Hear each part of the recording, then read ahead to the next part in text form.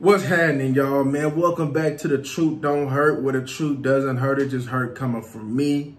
What we got on the menu today, man, is old Lincoln Riley and others versus Deion Sanders. Prime time, man.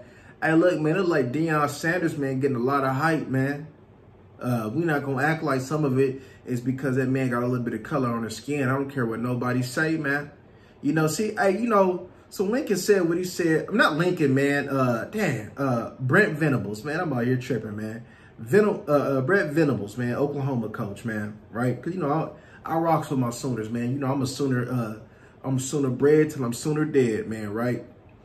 But we're to be real, man. There's a little bit of hate going on, man, with this Deion Sanders situation, man. Uh, you know, Deion come through. See, you see, one thing I can't stand, man, is a hypocrite. You know, these coaches act like they doing things the right way and they they they going about it, you know what I'm saying, on the, oh, we doing it for the love, we doing it for the students, you know what I mean, having this program pride. Man, shut that up, man. We know good and well y'all in it for the money, y'all in it about this winning. Y'all, you know what I'm saying, y'all in it a lot of the times. Yeah, y'all may got some love for some kids, though, but a lot of the times y'all be in it for self, man. Just like old Lincoln Riley, you know what I'm saying? He in it for self, and I ain't mad at that though. But I'm just acting like I got this pride and y'all doing things the right way when it comes out later on that y'all to mess around and interpret it and when it gets the rules, man, to go ahead and go about your recruiting. You know what I mean? Don't be acting like, you know what I'm saying? Because at the end of the day, man, you got to do what you got to do, right? And look, Deion said he about winning. You know what I mean? Hey, man, he gave everybody a, a shot. He said, I'm going to bring, hey, look, how could you not respect somebody like Deion? That's why everybody want to go play for Deion. How could you not respect somebody like, hey, man, look, I'm coming in. I'm bringing some of my guys with me that I know is straight ballers. You know what I mean? You're going to compete. You could, you could try to compete, but more than likely, man, you ain't going to beat them. So I'm going to go ahead and give you an opportunity to go ahead and, and transfer, to go ahead and find you another opportunity. You know what I mean? And for those y'all do want to stay, man, y'all going to battle. Y'all going to do things the Neon Deion way, the prime time way. Not that other Colorado way, man, that y'all in winning like two, three games, man. We ain't doing none of that, man. We came to bring a winning program. A winning program is what I came to do.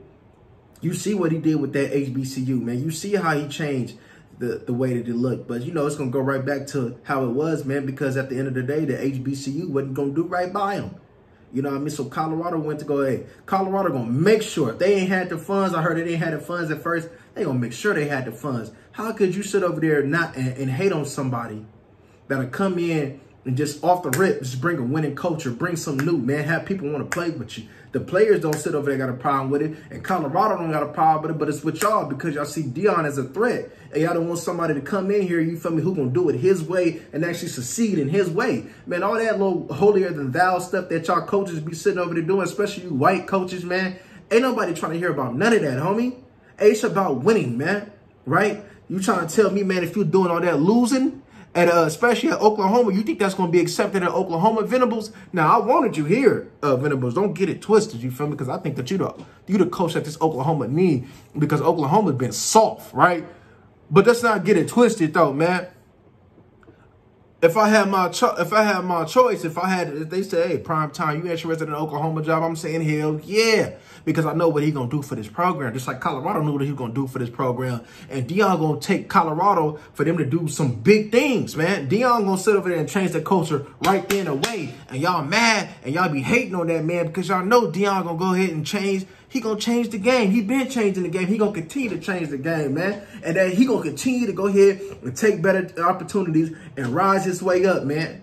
And, and, and y'all ain't gonna have no choice but to respect it. And y'all hating on that man, man. Let's be real. We're gonna have to call a spade a spade. Even if you my, even if I rock with you as my coach or not, we're gonna call a spade a spade. Y'all be hating on Deion, man. Y'all don't be calling none of these other whack coaches, man, who be sitting over there doing the wrong thing and who got who got all this other stuff going on. Y'all be silent though. But soon as Deion come up in the pe could come up in the place, man, doing his thing, y'all got a problem with Deion. And we ain't gonna act like we don't know what, what it is, man. we not gonna act like we don't know what it is. We ain't gonna act like y'all don't be hating. Y'all wish y'all y'all can sit over there and have the magnetism that Deion Sanders bring to the program. Y'all don't have that, man. Y'all hella dull. You feel me? And all that, you know what I'm saying? We get into 2023, man. Uh, you gotta go ahead and reach uh, uh, these kids, man. It ain't like how it was back in the day, man, where we can go ahead and get the grit and grind, man. Now these kids, man, love a little flash and pizzazz, man. And they love a little magnetism. They want to go ahead, man, and play for a coach, man. They don't want all that dough, you feel me? Because these kids are soft.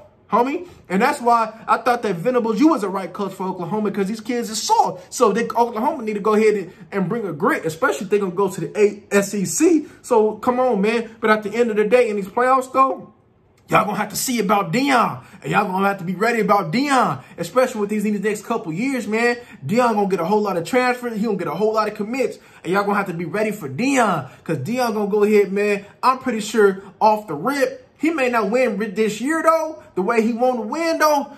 Trust and believe, man, the next year or the year after that, man, Deion going to be a problem. He going to be a problem for years to come. And y'all know that he coming.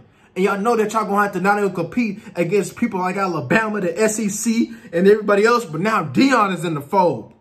And that threatens you. That threatens you. You know what I'm saying? So y'all going to have to keep it a stack in a bando when it comes down to this, man. Y'all ain't ready for... Hey, man, y'all... You know what I'm saying? The way Deion doing his things, there's a little jealousy going on there, though, man. But y'all let me know what y'all think about this in the comment section, man. Y'all like, comment, and subscribe, and share this content, and we up out of here.